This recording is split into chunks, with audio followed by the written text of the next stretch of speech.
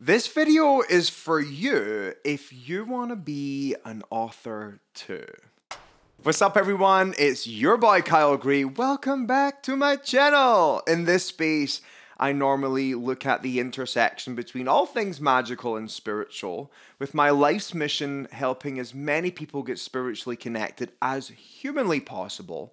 And I do that through a number of different means. I've written eight books. I've created, at this moment, I think nine Oracle decks, and I've got three more on the way. And one of the biggest questions I get is Hey Kyle, how do I become an author? I've been published since I was 24. I signed my first book deal when I was 23. And I think a lot of people have seen this journey of me, you know, becoming this published kid to, you know, this adult with a business and a team and all these books and you know selling hundreds of thousands of copies worldwide and go well maybe if he can do it i can do it too. And i thought it'd be really helpful just to create a video just giving you some places to start uh, this journey for yourself. So i genuinely believe that most people have a book inside of them. And i think it's important to say that this particular video is going to be centered on people in the kind of self help, how to, spirituality world. So if you want to write a book about spirituality, magic, some sort of healing modality, or some sort of self help book, then this video is for you. To kind of give you a background on how I got published, I think it's important to say that I've been doing this since I was 15 years old when I was 17 years old, I started my spiritual business doing angel readings, and um, I called myself a spiritual consultant.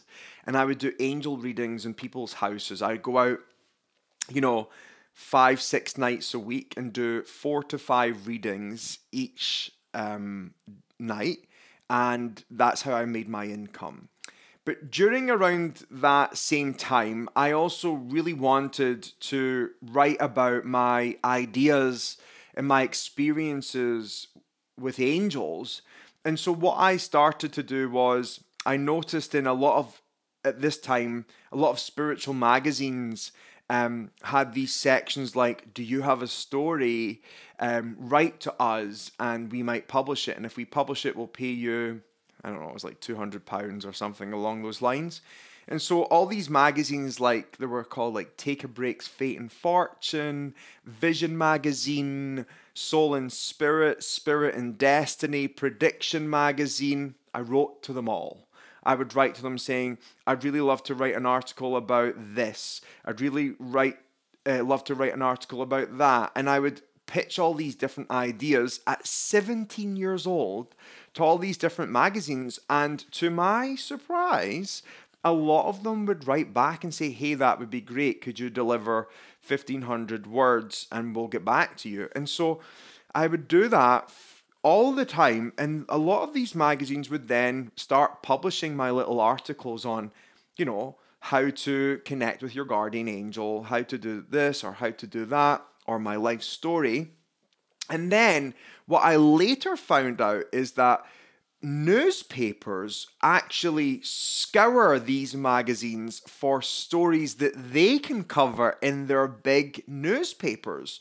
So, newspapers like News of the World, The Sun, The Scottish Sun, The Metro, um, The Daily Record, all these are all you know British Scottish uh, newspapers all of their journalists for the women's features would scour these spiritual magazines looking for stories, and a lot of them would be my articles. And then these newspapers would reach out and they'd like to do a little piece on angels or psychic experiences or all these different things. So by the time I was 19, I had been in all these different newspapers. The Daily Mail named me as the youngest medium in the UK when I was 17 years old because they had found me through this magazine at the time called Vision Magazine, who then offered me a column as a teenager to answer people's questions. So that's how I got started in journalism and writing because I was submitting articles to all these different magazines and newspapers, which would then kind of build up my portfolio as a writer.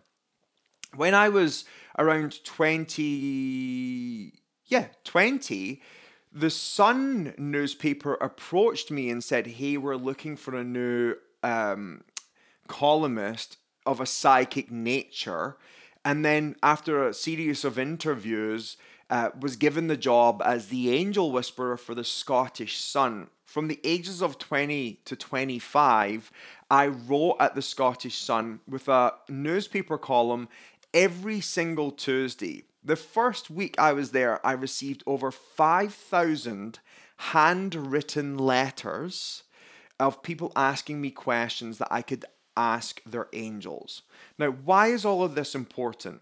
I think a lot of people just think I've maybe came out of a puff of smoke and landed with a publishing deal. But the truth was, before I got published, I had from the age of 17 to 23 of newspaper articles, magazine features, all these different things under my belt.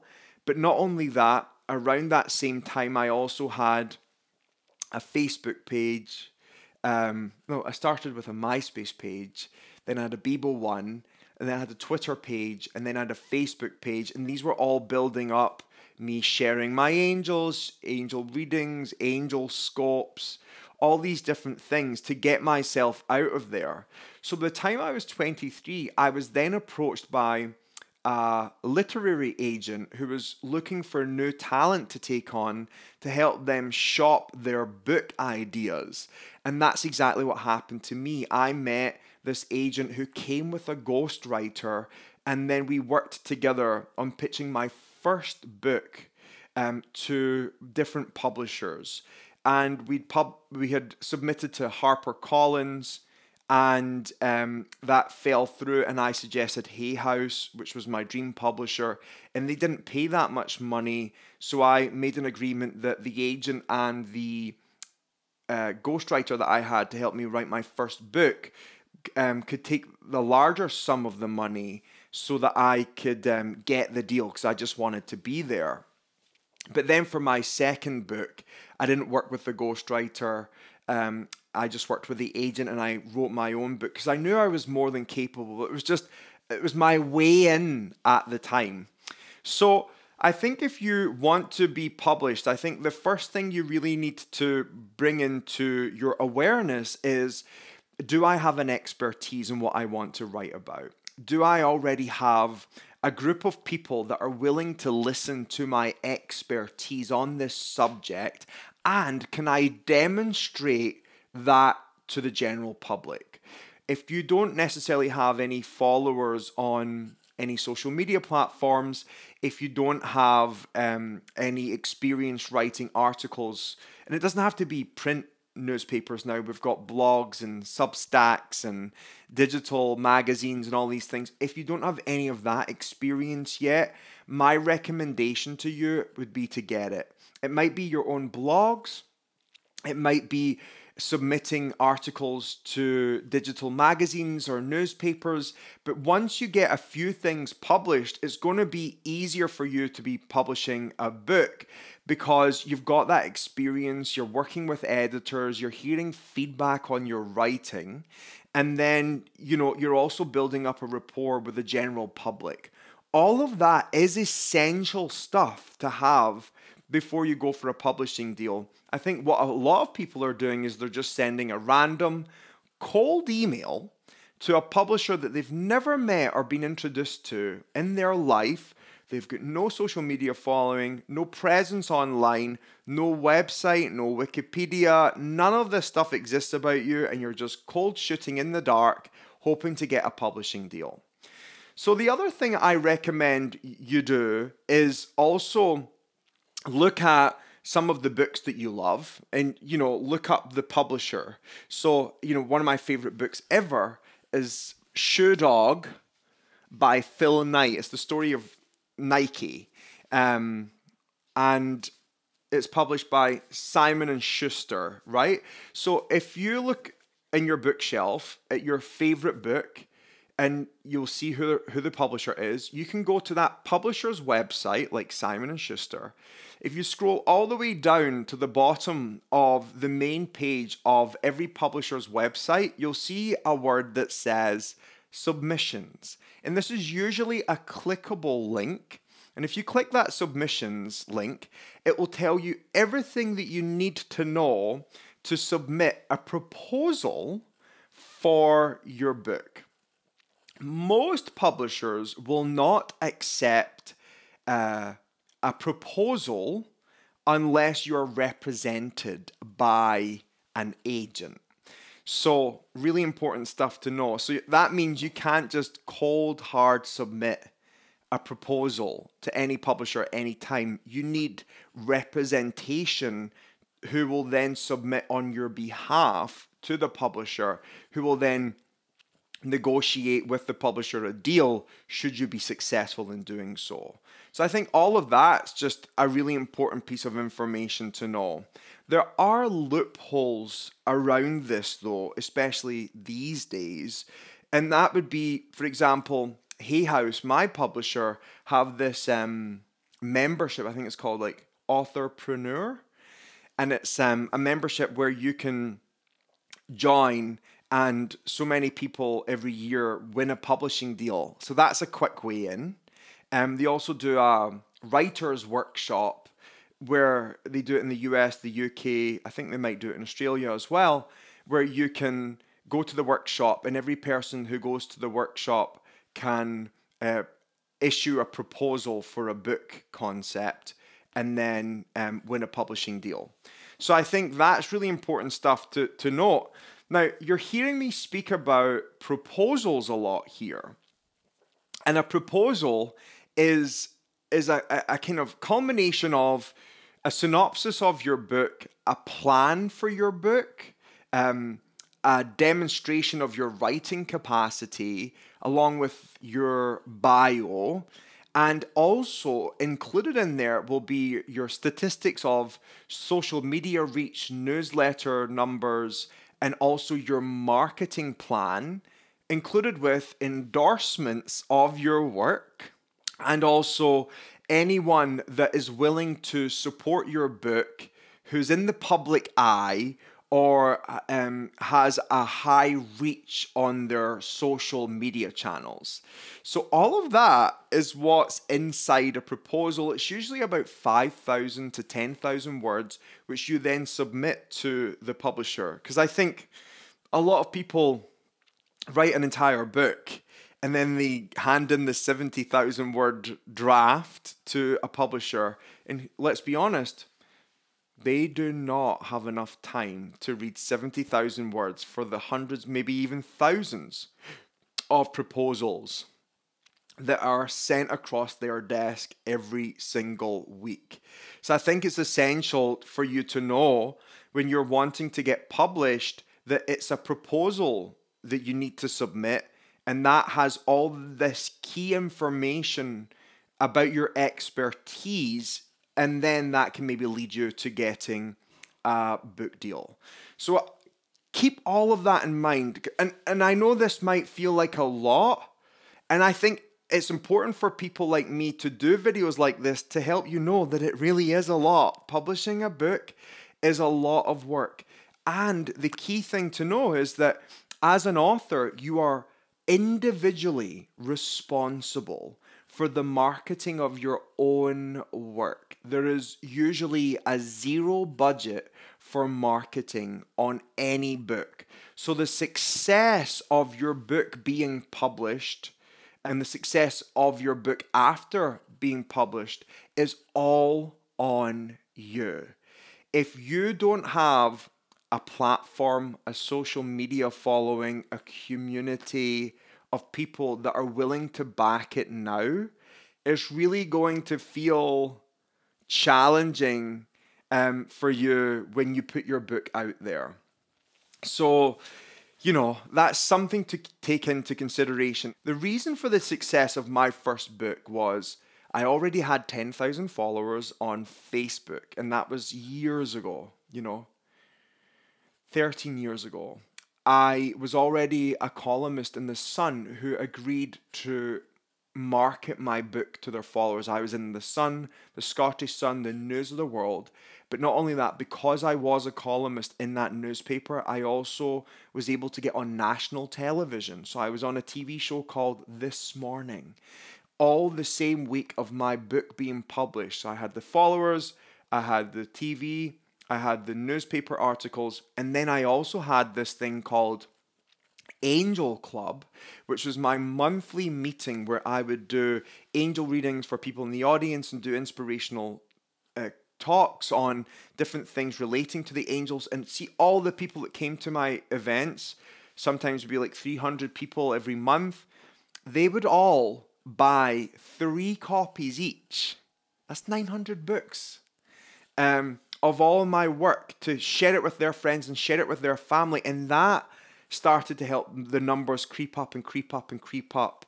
And then that helped build my social media following and, you know, all these different things.